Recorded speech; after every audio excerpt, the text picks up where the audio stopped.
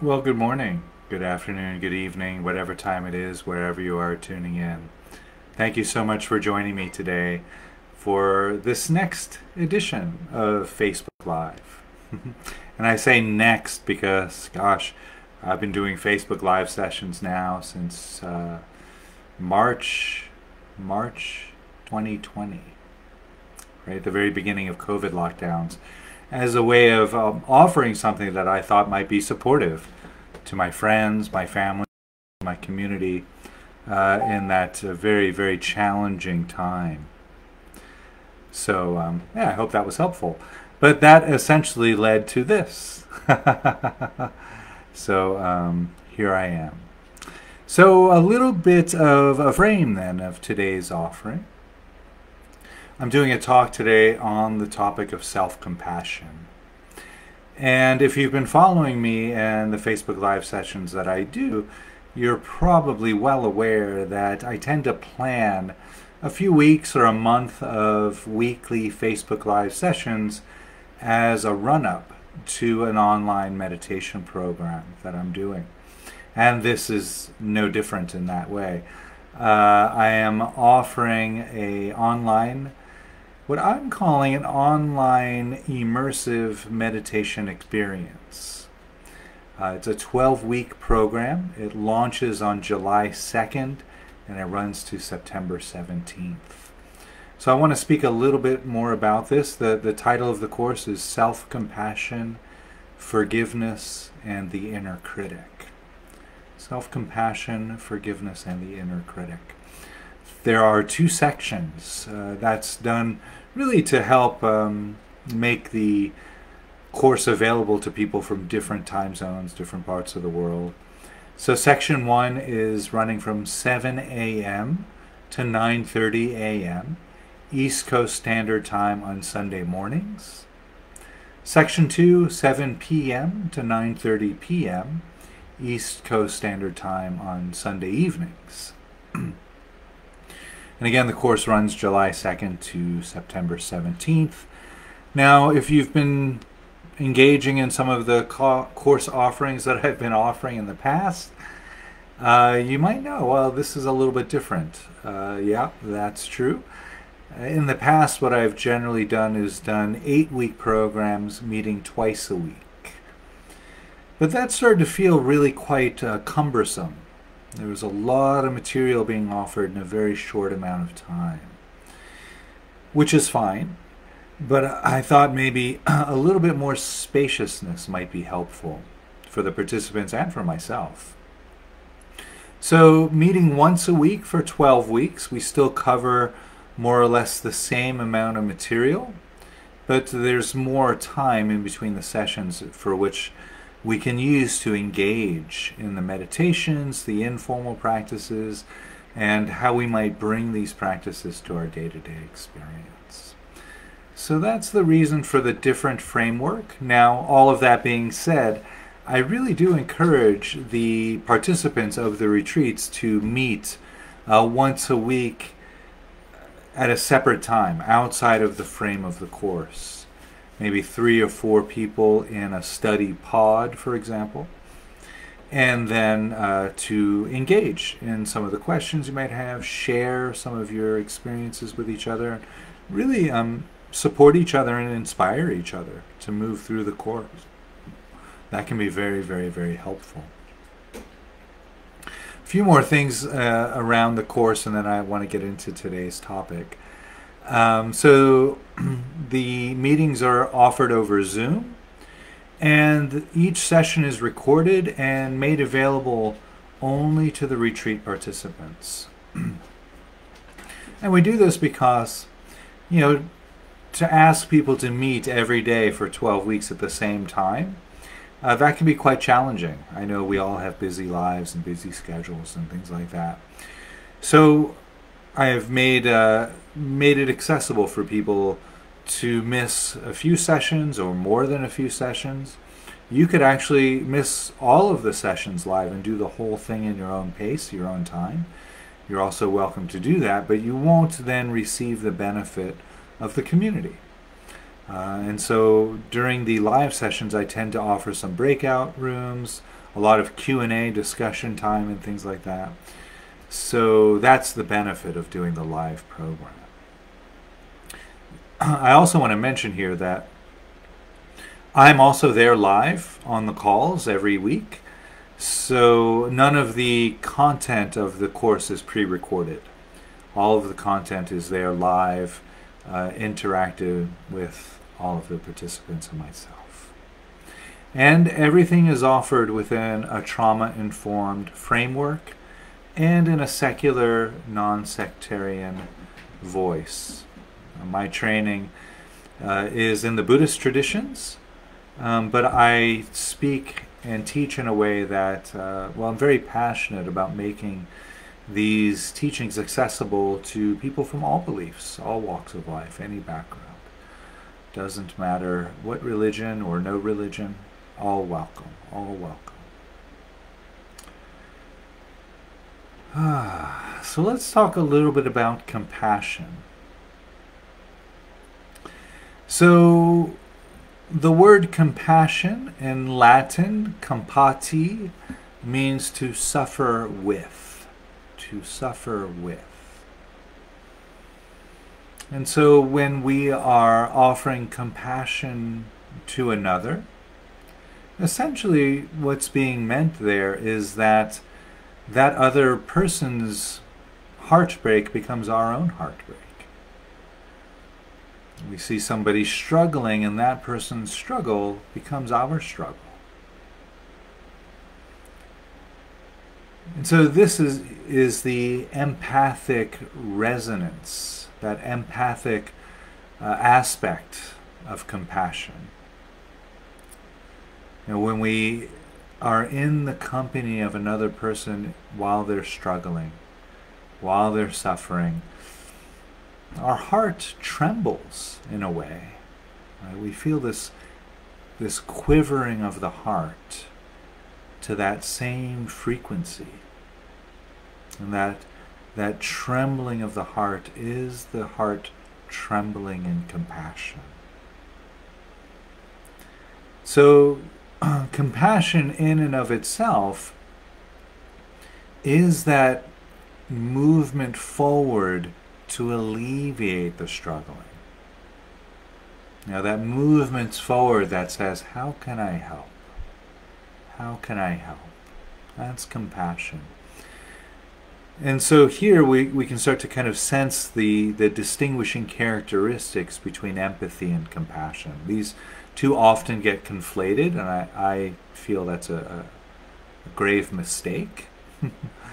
That empathy is the ability to feel into uh, what someone else is feeling. And compassion is the move forward to help. And so true compassion has this blend of empathy and this movement forward to help, this compassionate move.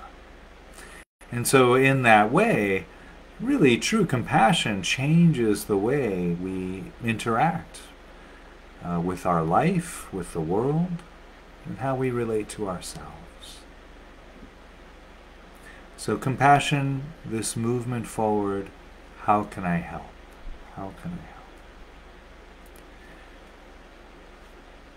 And so you might think of a time when you may have been with a close friend who was struggling or suffering. Perhaps they maybe just lost a job or um, lost a friend or a family member, encountered a divorce. Maybe they're struggling with um, other things like homework or uh, relationship issues or mm, getting to bed on time. so when we perhaps visualize, imagine a moment in the future when we're with a friend who's encountering these various forms of struggle, we might imagine what words might we offer to that person? What might we say to somebody who's, you know, having communication challenges with their best friend, for example? What might we offer as support to someone who just lost their job, and just lost a family member. And just exploring this on your own for a few moments, you know, maybe putting a hand over your heart. What would I say to that person? And now replace the image of that person with yourself. How might you support yourself in times of struggle? Or what words might you offer to yourself when there's pain? You know, my go-to is putting a hand on the heart. Wow, yeah, that's this is really challenging right now.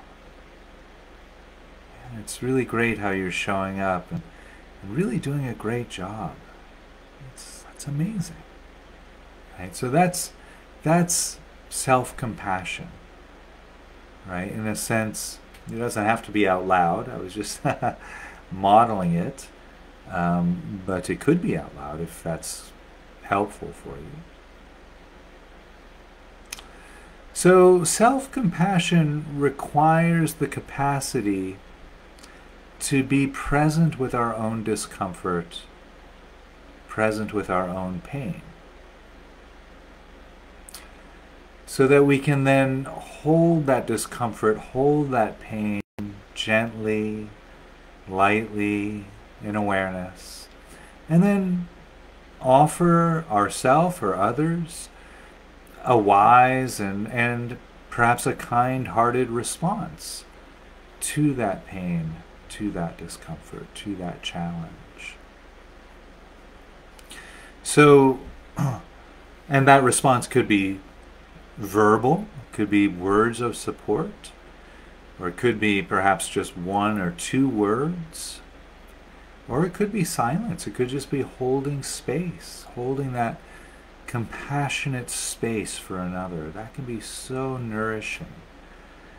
And sometimes that's exactly what's needed. It's just that human company, that companionship into that challenging situation. So compassion can be quite challenging, right? compassion, whether it's compassion for ourselves or for others, Compassion asks us to acknowledge the pain and the suffering and the struggle that's present. It, compassion asks us to hold that pain in our awareness, that discomfort gently in our awareness. And then in that space, we can move forward with that move of compassion. So it's in a sense bittersweet because initially we're holding that pain, that discomfort, that's that can be challenging, but then that movement forward feels good.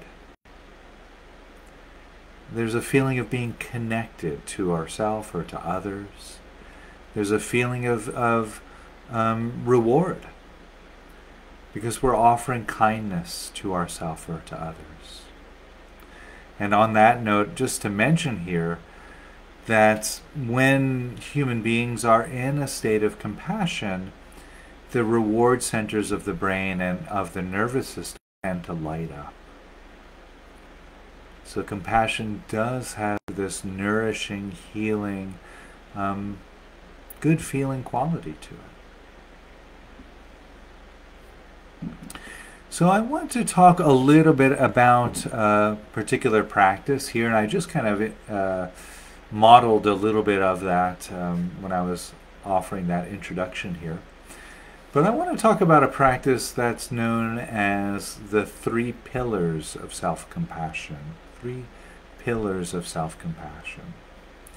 And this comes from the work of Dr. Kristin Neff, who really codified what's known as mindfulness self-compassion. Beautiful practice. If you're not familiar with Kristin Neff's work, I highly recommend checking her out. She's absolutely wonderful. So the three pillars of self-compassion are mindfulness, or what I call heartfelt awareness, kindness, and common humanity. So, heartfelt awareness, kindness, common humanity. And I'll just very quickly unpack each of these as we go. So, this quality of mindfulness, and I, just to speak a little bit about why I frame that as heartfelt awareness. Um, the word that's being translated into mind or mindful, the Sanskrit word, the Pali word, also the Mandarin word, sati, that word could just as easily be translated into English as heart or heartful. And it's a much different quality, right? If I invite you to put your mind on the breath, we'll just do that for a moment. You know, put your mind on the breath.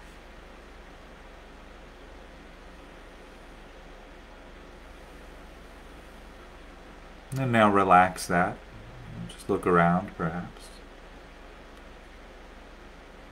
Now I'd like to invite you to put your heart on the breath. Put your heart on the breath.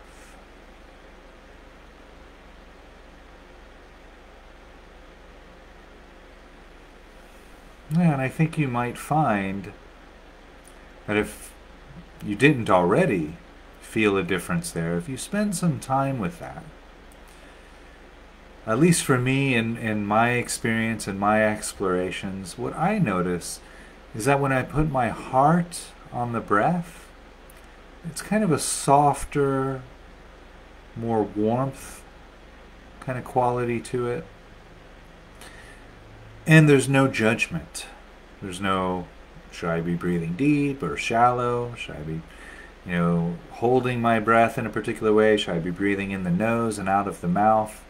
None of that's there when we put our heart on the breath. It really facilitates this very, very fundamental quality of non judgment.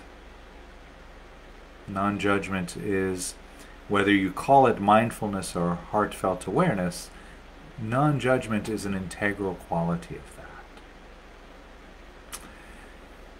So, in the frame of mindful self compassion, or the three pillars of self compassion, we bring heartfelt awareness to the any struggle, to the struggle of the present moment, any struggle that might be there. You know, it might be simply, um, maybe uh, I'm hungry, right? So I'm struggling around uh, ignoring the hunger, the twangs of hunger pain in my stomach while I'm offering this talk, right? Just an example, it's not really true. Let's just say that.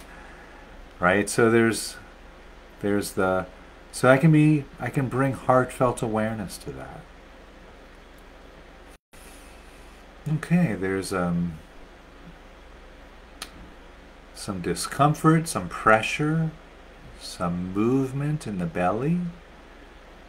Uh, there's also kind of a, a hangry mood, if you will, kind of irritableness there. There's kind of a, also the inner critic is, is showing up. Why didn't you eat earlier? Things like that. The inner the inner critic is active. Hmm. And so just observing with this heartfelt awareness, you know, what's arising? What what are the components? What are the composite materials of this quality of suffering that we're experiencing? And so we pause and we, we really take in exactly what's happening without judgment. Right? Feeling into the experience, the tactile, sensate experience. I say tactile, but it could be kinesthetic as well. Right? The tactile or kinesthetic experiences, the actual felt experience. And when we do this, this really allows us to respond to the struggle rather than to react. Right? This kind of disconnects the habitual reactive patterns. And so we just notice, oh yeah, there's hunger there, there's some pain, there's some grumbling, there's some irritability, whatever's there, right? And so this gives us the, the in a sense, the presence to look at the part or parts of life, the experiences that we may not like, that might be unpleasant, that might be in fact painful. But with this heartfelt awareness, we open and we bring this mindfulness. Now we can actually yeah, begin to look at those experiences, begin to examine them, perhaps uh, learn from them. So, heartfelt awareness is really opening to our experience and the experiencer at the same time. Compassion is the experiencer component, and the heartfelt awareness is the experience component. Maybe that's helpful. And we pause and accept. We pause and accept, okay, yes, this is the way it is right now. And so if we don't give our compassion, mm, we don't give, rather, if we don't give ourself uh, this room, this spaciousness, this compassion, uh, then the, the pain, the struggle, the suffering tends to linger. So this is real important aspect of acceptance around self-compassion. In fact, very often uh, you'll hear me use acceptance and self compassion synonymously. And they're that connected.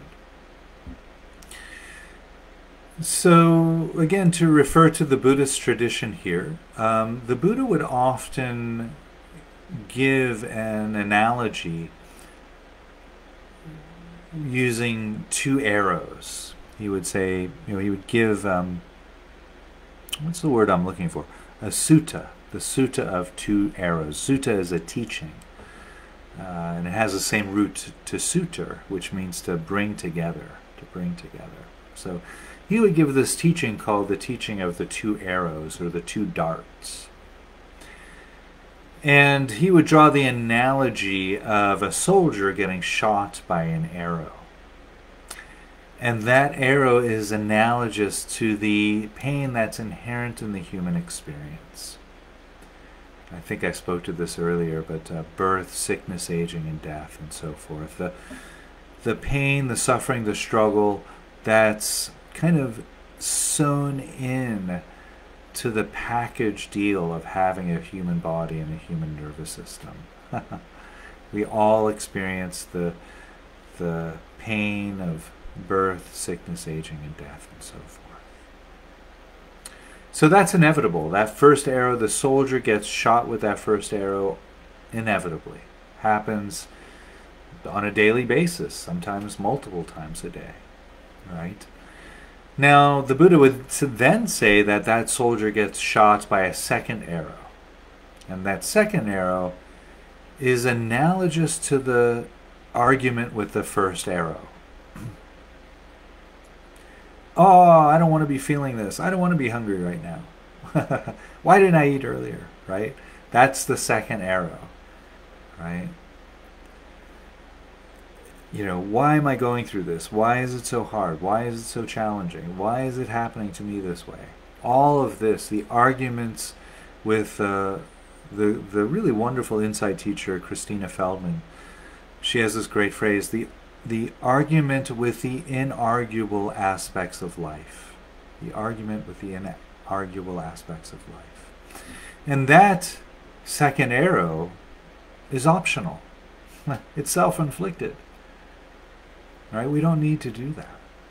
We don't need to be inflicting ourselves with this second arrow. And that is where all of our suffering lies. Right? The first arrow, we can't do anything about that. Life is just going to hurt sometimes, right? But the second arrow, that's where we have some autonomy.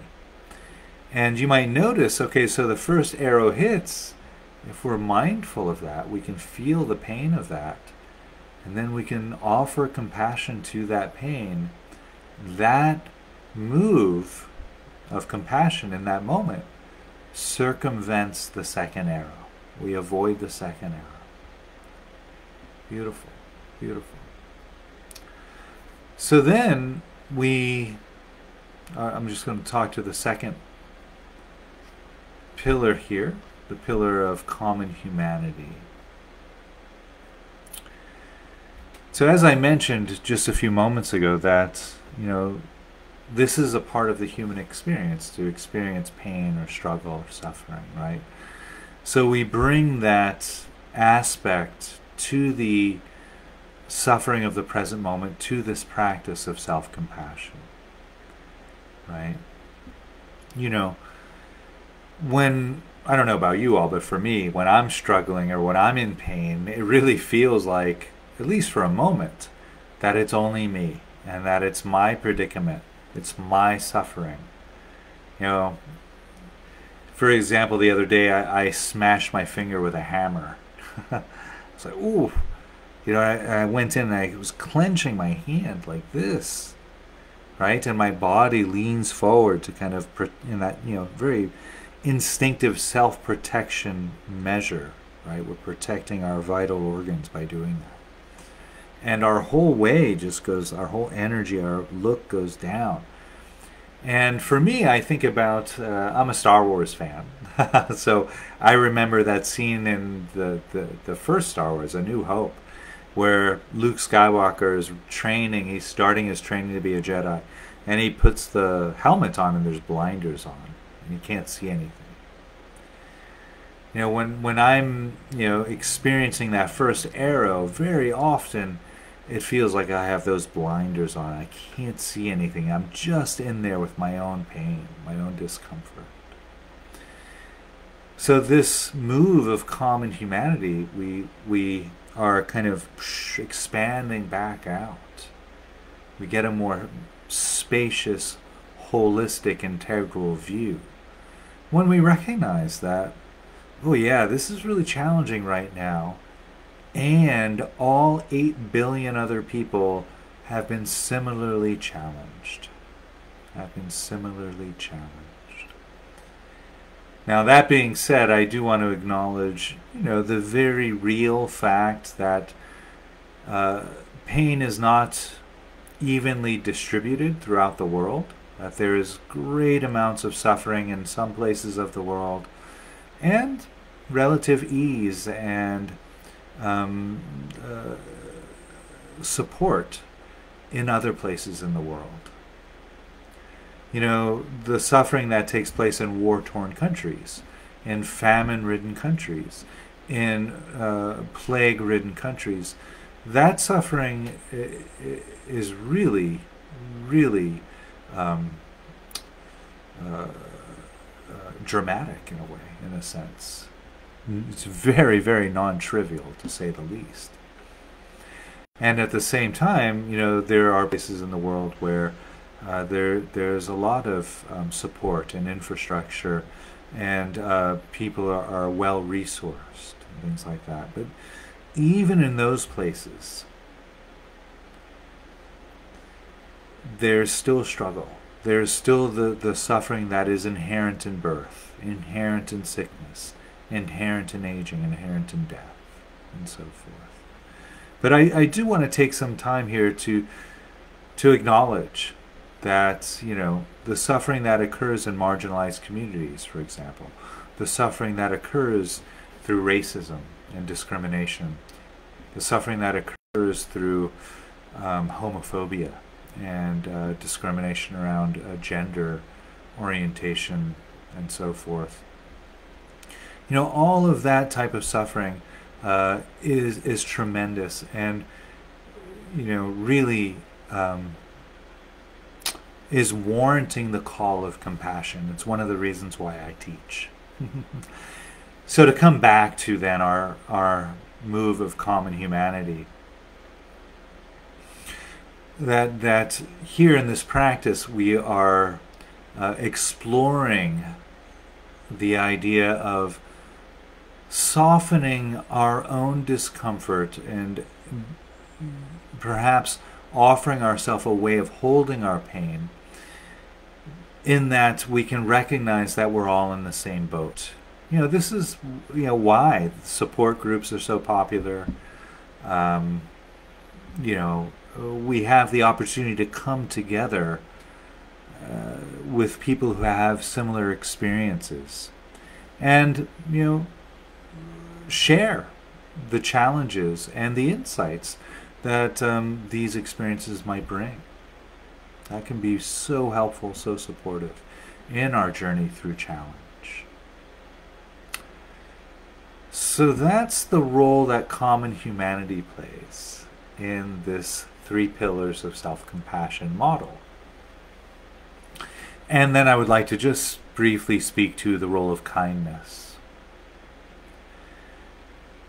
And again, you know, I modeled this a little while ago, but that move of self compassion, you know, just placing a hand over the heart or a hand on your shoulder, or perhaps both hands on the arms, like that, giving yourself a hug. These are ways that we can physically support ourselves in, in compassion. So, placing a hand on the heart, saying, let's use a different example. Maybe I'm having some emotional upset in my life. Right? And so I've had a few days where I'm really grieving. And now maybe I'm just coming out of the grieving process, you know, or or maybe just starting if it's just a few days, I may be just engaging in the grieving process. Right?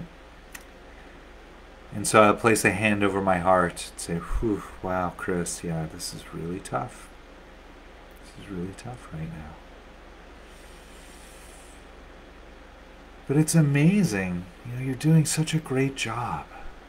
Yeah. Really, really great how, how resilient you've become and how strong you are. You can really see how all of this practice is paying off. And perhaps, you know, part of the move of kindness towards oneself uh, might be visualizing or imagining what you're your wisest self might say to you if they knew what you were experiencing right now. So it might be something like, wow, that was amazing how you handled that. I would have never thought of that. Really, really great job. You know, something like that. And so we bring this move of kindness uh, to our experience. And this really speaks to um, something that we get into later in the course um, working with the inner critic. Right? Because very often, uh, I don't know about you all, but for me, when I find that I'm in the midst of struggle or suffering, sometimes the inner critic can come up and say, uh, you should have known better. Why were you so stupid? How could you have done that? You know, what were you thinking? Right? And as long as we, you know, keep the inner critic there in play, um, we tend to repeat those same patterns. Maybe you've already noticed this. Why? Well, from at least from my perspective, nobody wants to listen to that harsh voice, right? Think if your best friend showed up and said, "Why are you so stupid? How could you do those things? what were you thinking? You know, I'm gonna punch you in the face."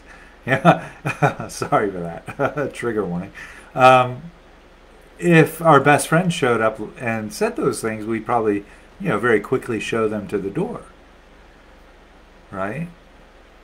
And it works the same way when we are berating ourselves. Yeah, I use that move of self-flagellation. When we're berating ourselves in that way, um, we don't listen to it. Right? It doesn't really land in such a helpful way. But when we can turn and say, "Wow, Chris, man, that was, wow, you really got taken for a ride there. Really, really sorry about that. Really hurts." And, you know, maybe we can be a little bit wiser in the future. You know, how can we perhaps prevent this from happening? Right? So there we, we take the wisdom of the inner critic and we strip it from the the um, the the harshness. We strip away the the conde- condemnation that the inner critic is so uh, often enwrapped in. And so this way we can actually hear, okay, yeah, yeah, it would be really great if I could avoid situations like that in the future. How might I do that? So kindness is very important in this way. It helps us to sidestep that tendency of uh, the inner critic, and also it really helps us to recover and re- you know get back on our feet, so to speak, after the um, the, the challenging, uh, perhaps painful situation has been uh, engaged with. That move of kindness can be really helpful way of um, restoring our resilience and strength.